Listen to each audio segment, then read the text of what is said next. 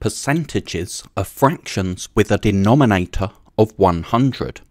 The symbol for percent is like that.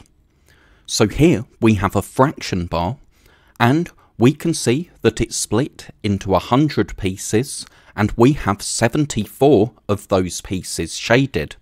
So as a fraction, we could write what we see as 74 over 100. As a decimal, we could write 0.74 because we know that the second digit after the decimal point is the hundredths digit and we have 74 hundredths. Notice also that what we have is the same as 7 tenths and 4 hundredths, so that's why we have 0.74. But we can also write what we see here as a percentage. That's 74%. Notice it's not 74 over 100% because the percentage sign tells us that it has a denominator of 100. The percentage sign tells us that it's a fraction over 100.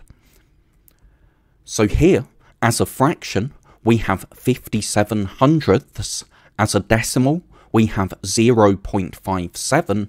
And as a percentage, we have 57%. And in this fraction bar, we have 30 hundredths, which we can write as a decimal as 0.3. We could write 0.30, but remember we don't need zeros on the ends of decimals.